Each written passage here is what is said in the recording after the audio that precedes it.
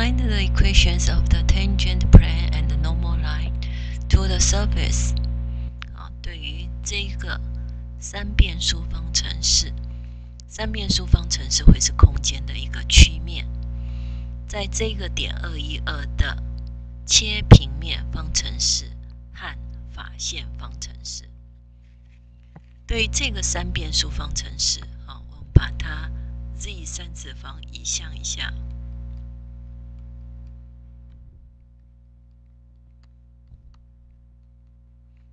写成这个是 f x y z 等于零，变成一个等位面啊，这种写法，这是我们的 f x y z，f x y z 等于零。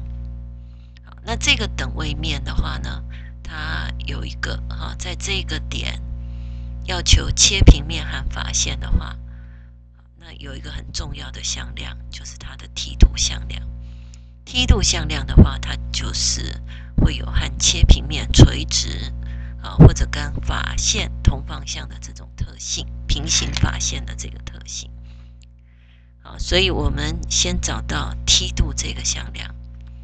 梯度的话，对 x 的偏导数，对 y 的偏导数，对 z 偏导数。二一二这个点，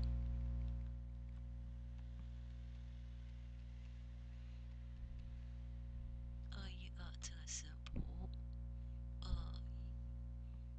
四二负十。二，找到 del f 这个向量，del f 这个向量，它就可以是切平面的法向量，也可以是法线的方向向量。所以切平面的法向量啊，五四负十二，这个法向量啊乘上 x 减经过二一二这个点，y 减一啊 z 减二等于零，这个就会是它的切平面啊。所以我们整理一下，五 x 加四 y。X 加四 y 减十二 z，好，我们找一下常数等于多少？这是十四，十四减掉二十四，所以这个等于负十。好，这个就是我们的 tangent plane。